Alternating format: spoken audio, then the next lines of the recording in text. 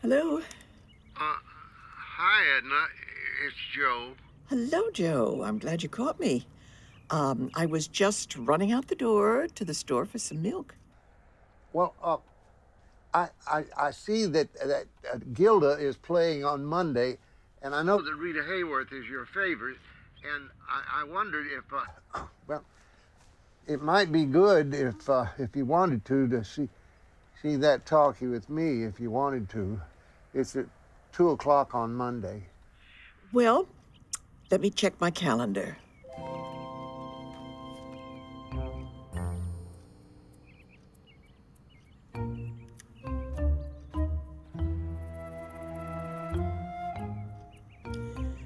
Well, Joe, um, I think I'm free.